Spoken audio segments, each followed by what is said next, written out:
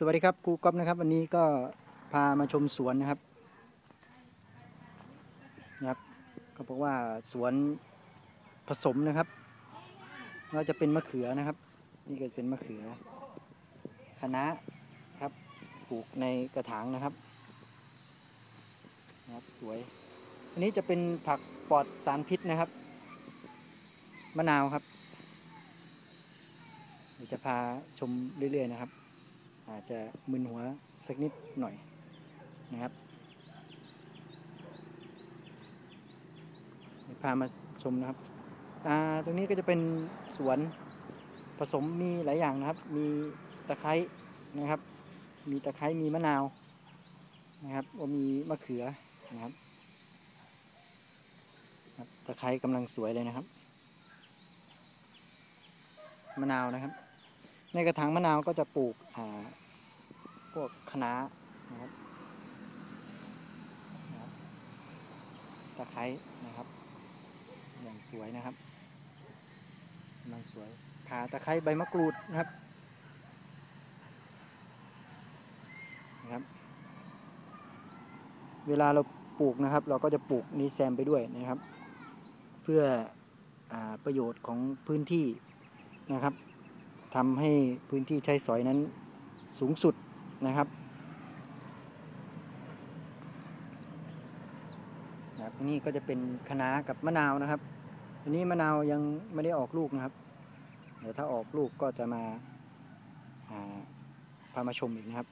นี่ก็เป็นพริกนะครับ ผักนี้จะเป็นผักปลอดสารพิษนะครับอ่า นะครับ เดี๋ยววิธีการปลูกนั้นยังไง เดี๋ยวก็จะมาทำให้ดูอีกนะครับ อันนี้ก็จะเป็น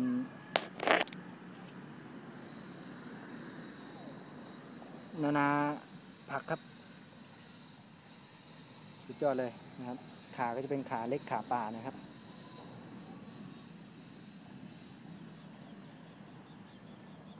ใบกะเพราต้นกะเพรานะครับ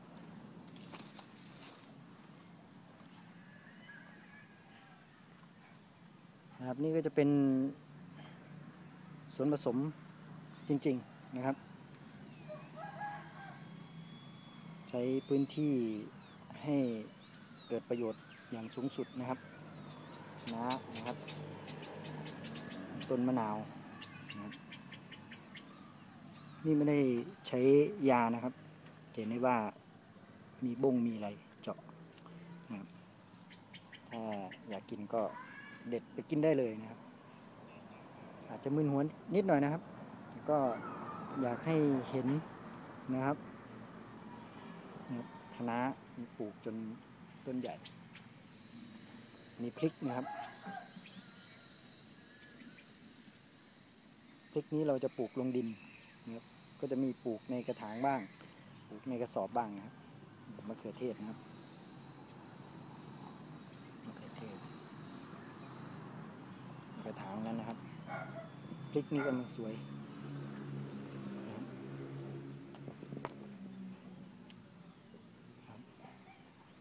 พริกครับ ดกเลยทีเดียวนะครับ ก็ลองทำดูนะครับที่บ้านนะครับ คือใช้ประโยชน์ของพื้นที่ให้สูงสุดนะครับ เดี๋ยวจะพามาดู ขึ้นช่ายนะครับ หรือตั้งโอนะครับ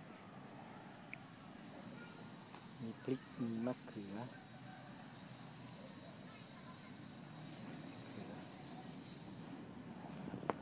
มะเขือกรอบนะครับมะเขือส่วนตั้งโอนะครับก็จะปลูกว่า ในกล่องโฟมนะครับได้ผลดีนะครับ นะครับตั้งสวยสวยมากเลยทีเดียวนะครับ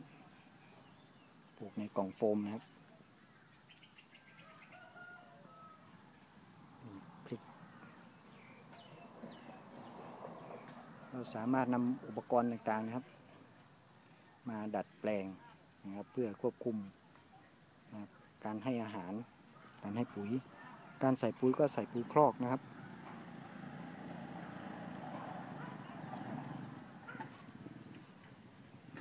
เราจะ ใช้พื้นที่ให้เกิดประโยชน์อันสูงสุดนะครับ ครับนี่ก็เป็น